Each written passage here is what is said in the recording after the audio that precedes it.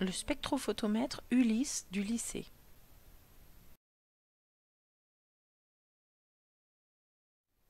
Un spectrophotomètre permet de mesurer et de visualiser l'absorption de la lumière par une solution.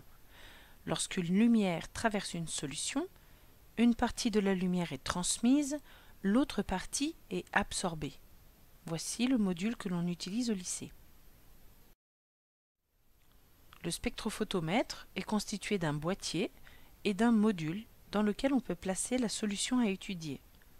Le boîtier et le module sont reliés par un câble fibre optique. On place la solution à étudier dans le module et la lumière est analysée dans le boîtier. Voici le module absorption dans lequel on place la cuve avec la solution. Regardons à l'intérieur du boîtier du spectrophotomètre. Il y a d'abord l'entrée de la lumière, des miroirs, un réseau et un capteur.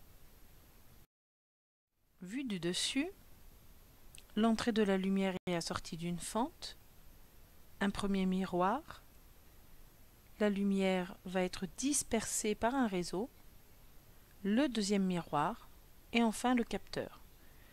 La lumière entre par la fente, vient se réfléchir sur le premier miroir, arrive sur le réseau qui disperse la lumière, qui l'envoie vers le deuxième miroir, qui ensuite renvoie la lumière vers le capteur CCD en silicium.